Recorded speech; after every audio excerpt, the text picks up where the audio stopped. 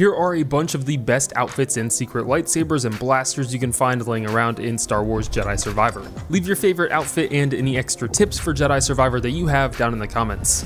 The Commander outfit is probably one of the best looking outfits in the game and one that I've seen a lot of you guys curious about how to get, so we'll go over how to get the Commander outfit, jacket, shirt, pants, and colors for all of them. So first just head over to this meditation point over in Jedha, the Anchorite base. From that meditation point, take an immediate left and head all the way straight down the path, past those mounts that you can ride on, and jump over the little gap here, and then hop onto the little ledge, which brings you over to the crate, which contains the Commander jacket. Probably one of the best looking jackets in Jedi Survivor.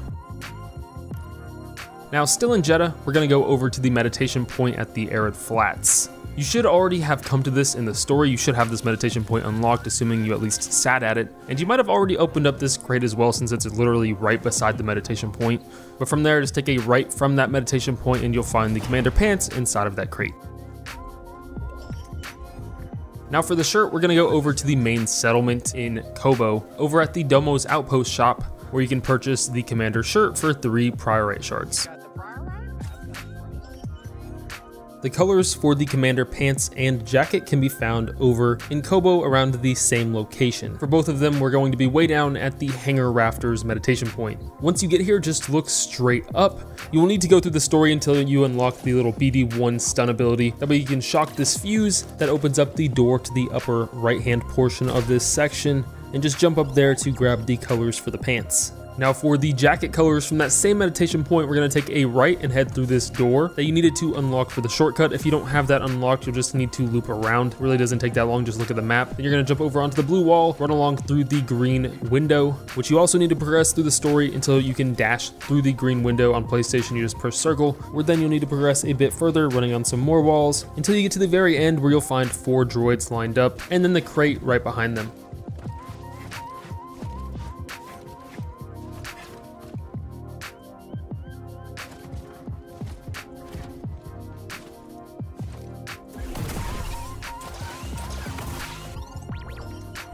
This is where you'll find the commander jacket colors. So now we're going to get the Jedi robes. The, Jedi robes are definitely one of the cooler outfits you can get in Star Wars Jedi Survivor. It's got the cool white variant, or if you want to be a dark Jedi, it also has the black variant. And for that, we're going to head over to the planet called Jedha. We're going to go for the Crypt of Uhrma meditation point, and from that meditation point, we're just going to take a right, head down the path here where you'll find a couple of stormtroopers. You might want to defeat them, otherwise you won't be able to open the crate. Just run along these stairs and hop over to run alongside the wall, and into a little cubby hole, you'll find a secret chest. This chest contains the Jedi robes. Again, they're really cool looking. They have a bunch of different colors colors. Probably the coolest one though is the black. And by the way, this outfit comes with both the jacket and the pants. Comes with the complete outfit, so all you have to do is go into your inventory and equip both of those. You can get the poncho, which you may remember from Fallen Order as it was like the only outfit in the game, and you can unlock it very early on in the game as a reward for beating a secret boss hidden in Koboh. We'll actually be heading right down the road from the main outpost in Koboh with the cantina over to Fort Collin. A very good place to farm XP if you saw my last video. From the meditation point, you can just hit the little grapple point that's nearby onto this mini fortress that contains a few walkways you have to traverse through past some enemies waiting to ambush you in a corner and straight on through to a bridge. There are a bunch of droids here that you can take out quickly with your blaster, just don't step onto these sliding doors yet. Once you step on those, you will be placed into a boss fight area with the spawn of Oggdo. This is a very difficult boss fight, at least on the higher difficulties, especially early on, and if you die, you won't be able to obtain your XP again until you defeat that boss. So if you fall down there, be prepared for a fight. I highly recommend force pulling both of the hammer wielding enemies from up top onto the doors and then hop inside with them so that they can assist you with defeating Oggdo. This makes the entire boss fight way easier because they'll be distracted with each other. I would also recommend hopping over his tongue attack. Once you defeat the spawn of Oggdo, you can go ahead and grab the chest over in the corner which contains the poncho.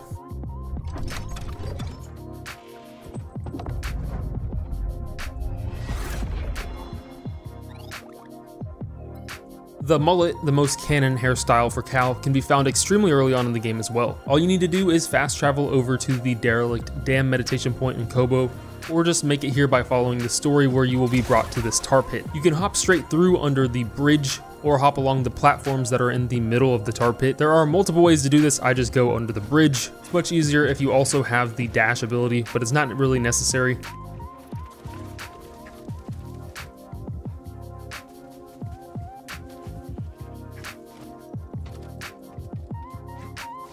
Hop across and climb along the rails that you can traverse along to find a priorite shard, and then continuing on to your right hand side, hopping onto another platform and up towards the wall will lead you to a chest containing the mullet.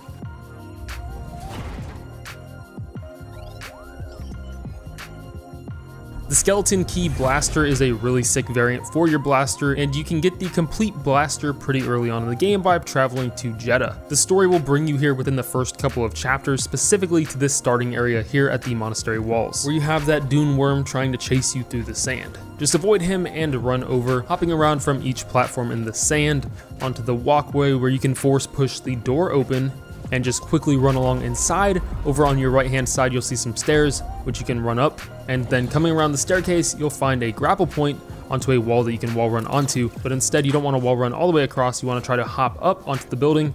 And I was struggling here a bit, but you just want to hop up again onto this other section of the ruins, and you'll find a secret chest on top.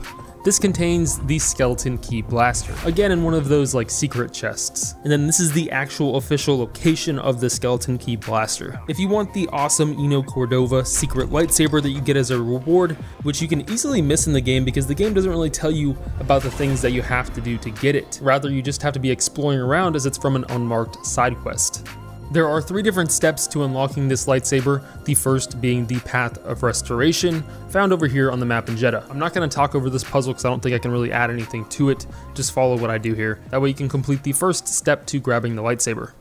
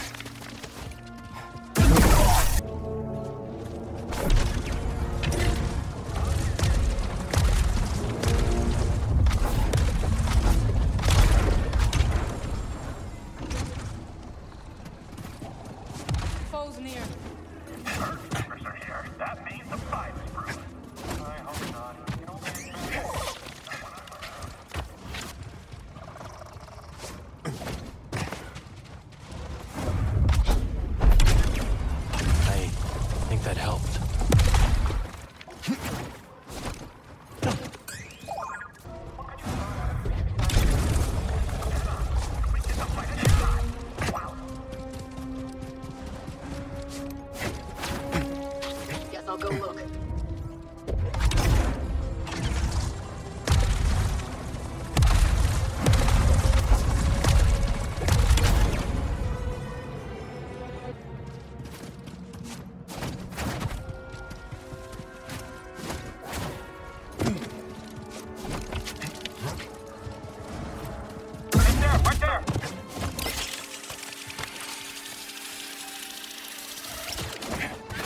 So once you defeat all the enemies in this final section, just push the ball down the lane. It'll reveal a secret passage on our right hand side, which will be an extra perk slot, something that's really good to have.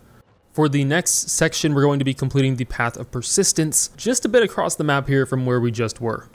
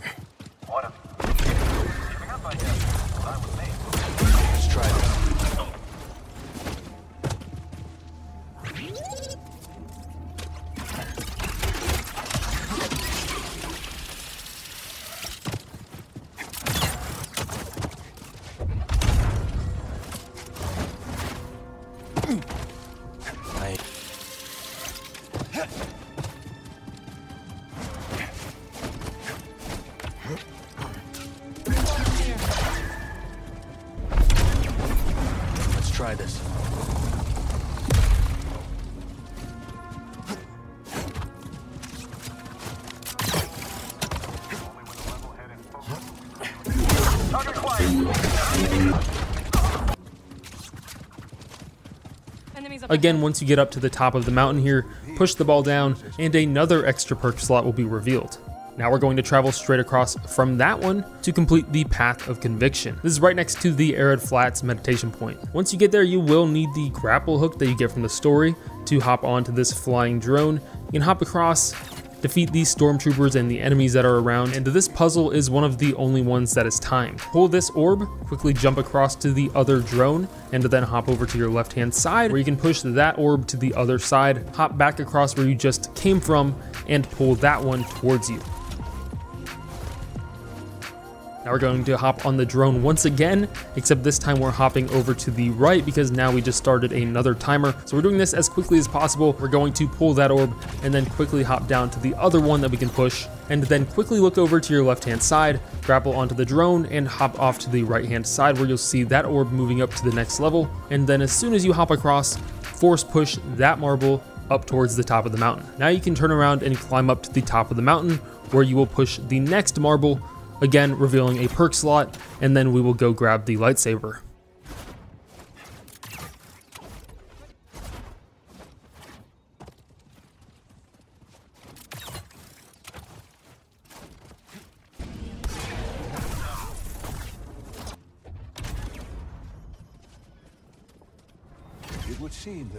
Okay, so now you have pushed down the final marble, and a temple has been revealed in the center of the Arid Flats.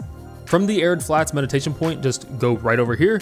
You can try to follow my path here if you don't know how to get to the top of the temple. It is kind of tricky, but if you look at the map, it's pretty simple. All you have to do is climb up and then in the center of the temple, just stand on top of the rock, which is actually an elevator down to the bottom of the temple, where another one of those secret chests will be revealed, revealing the Eno Cordova lightsaber. This gives you every piece of the lightsaber, you just need to go over to your workbench and equip each one. In this same room is also a map upgrade to reveal every treasure on the map. Priorite shards, Jedi scrolls, and data disks. There are also two other map upgrades in Star Wars Jedi Survivor that you can use to reveal pretty much everything. But that's it, leave a like and subscribe for more Star Wars Jedi Survivor videos. See ya.